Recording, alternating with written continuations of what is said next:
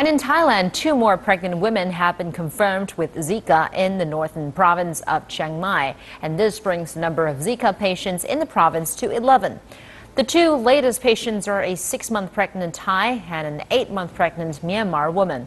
Both live in the Sen San Luang district, where nine cases were recorded within a month.